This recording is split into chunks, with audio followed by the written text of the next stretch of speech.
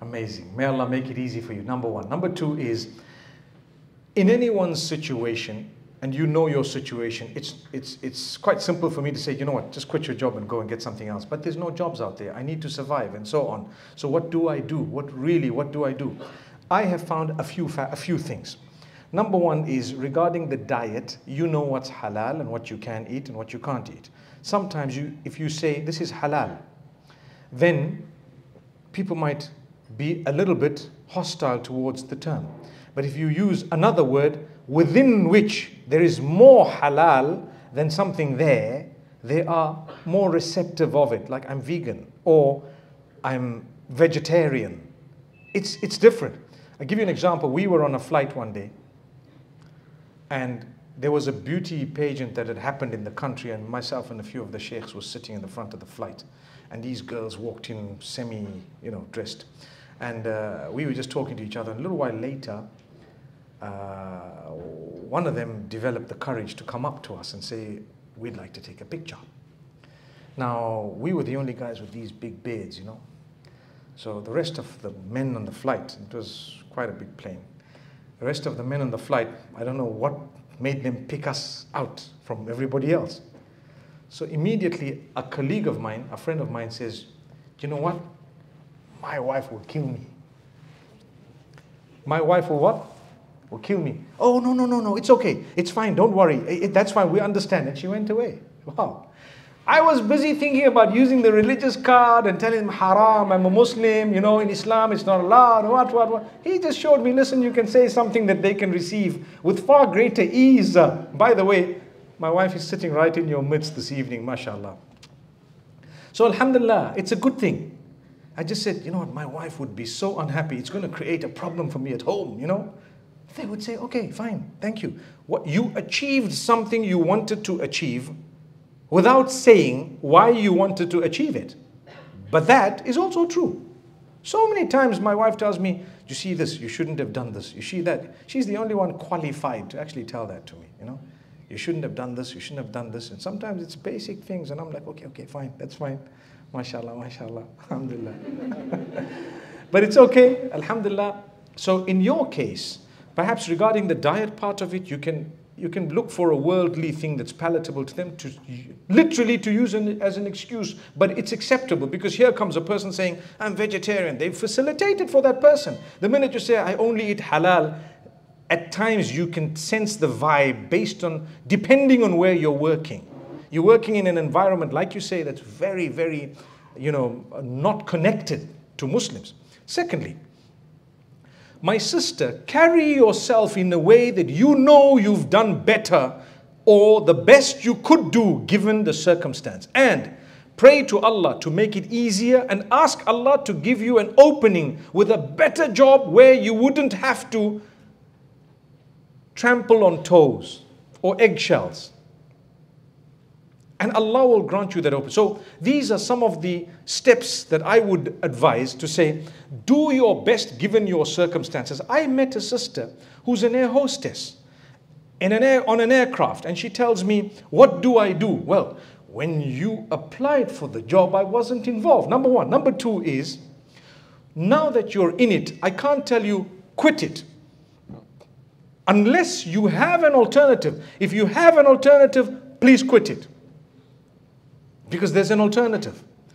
But if not, and this is your means of survival, and this is the way that you are, you know, basically you know we need to pay rent.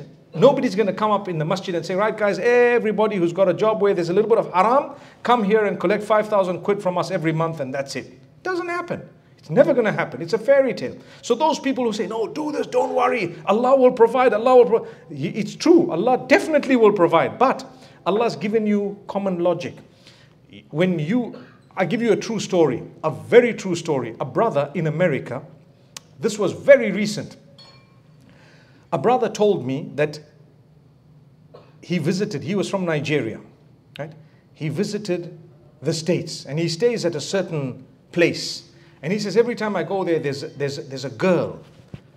And this is an elderly man and he's a very religious, responsible person, dignitary. He says, whenever I go there, there's a girl and she's very polite and we get talking and discussing religion and faith and so on, whatever, whatever. And what happened is, she, at one of his visits, she said, guess what, I'm a Muslim.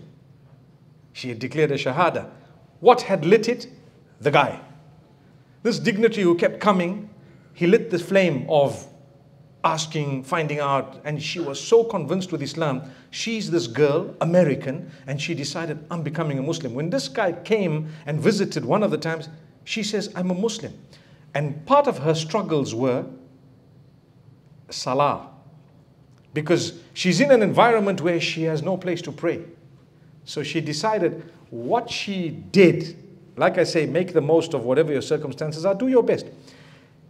In her break, she would go under the flight of stairs in a dark corner and quickly dress and, and pray as quickly as she can and come out and back at the reception where she works. Every time she prayed, she hoped and, and prayed that no one saw her because it would be trouble. Anyway, this guy came back a third time and she says, Guess what? Something amazing happened. What happened? She says, One day my boss actually came at that time when I was praying and I was saying to Allah, I forgot what I was trying to read in Salah, and saying, Oh Allah, help me so he can't see me. He doesn't see me. He doesn't see me. You know, protect me from him in whatever way you can, because she'd lose a job, right?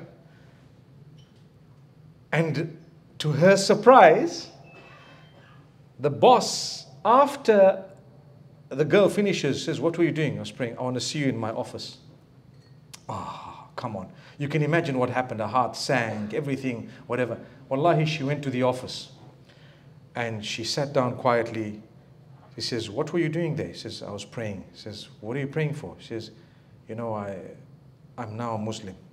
And so we pray five times a day, and I was doing my prayers and so on.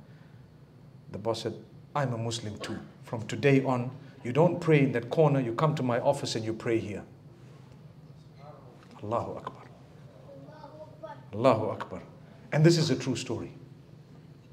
And when I heard this, you know, like my hair, like stood on end, and I'm thinking to myself, imagine how Allah saved her but that doesn't happen with everyone. Some people have lost their jobs because of whatever.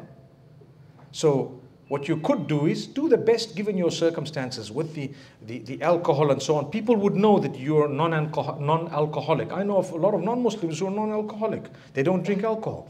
And, and the interactions would be less. The food, for example, if, you're, if you have to go to a place where there, the food is not halal, you can opt for something that you would definitely not be uh, you know, contaminated in that way, inshallah, slowly but surely.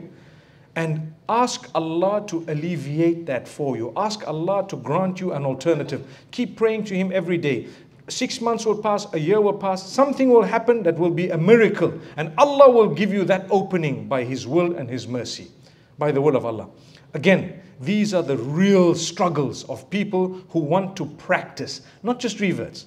Anyone who wants to practice, and they tell you, you know what, I became practicing and I really have a major problem because of so and so and so and so and this. I know of a sister who told me, I wear my hijab, but I just have to make it into a bit of a fashion statement so that it looks like um, it's not actually the hijab. What's your comment? I said, I have no comment. You know what's right and wrong. Your circumstances, I don't know them. And if you're doing the best according to you, and inshallah, you're going to do better and better and better, I pray that inshallah it will get to the ideal. Everyone knows this is not ideal. I mean, hijab is not worn for fashion, but it's worn in a decent way. It should look nice. It should look, you know, something that's presentable, something that's uh, that doesn't make you feel inferior or something. No, you're you're just a, a lovely human being who's trying to practice their faith by the will of Allah. May Allah make it easy for you, my sister. I hope these few words can help you. And I wish I had a job better than the one you're in right now that I could say, sister, from tomorrow, come and work for us. But unfortunately, I don't. May Allah bless you.